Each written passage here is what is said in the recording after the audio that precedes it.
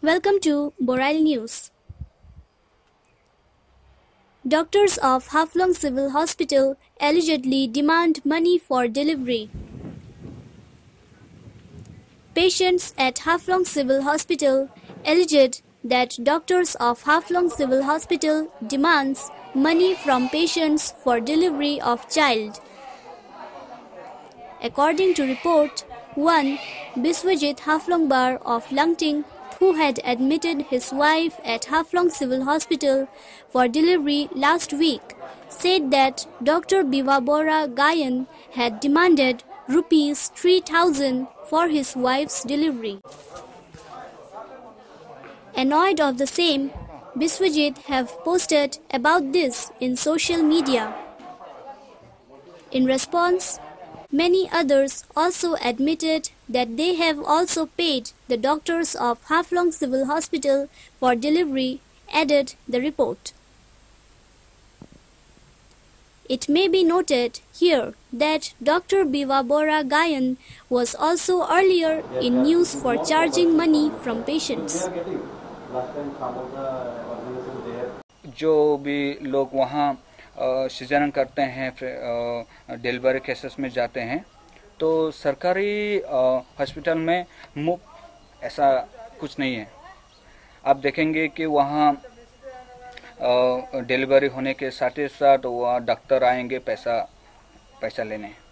और आ, सभी लोग शिकार हुए हैं पैसा देना पड़े हैं। और डायरेक्टली वो मांगते नहीं हैं वो थोड़ा इशारा से मांगते हैं। तो ऐसा देखते देखते मैं रहा तो छः दिन में लास्ट आज मैं गया ऑफ़िस तो डायरेक्ट मुझ, मुझसे मांगने लगा। मैंने दिया दिया नहीं था।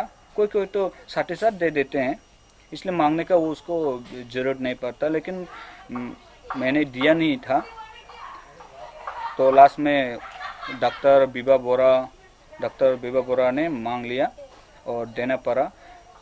तब कहा, मैंने पंद्रह सौ दिया था तो माना नहीं था कि बोला कि उसका सिस्टम है थ्री थाउज़ेंड तो देना ही पड़ेगा। लेकिन मैंने दे नहीं पाया, क्योंकि मेरा पॉकेट में है ही नहीं था, क्योंकि जितना पैसा था मैंने सभी खर्च कर चुका। तो लास्ट में उतना ही दे पाया।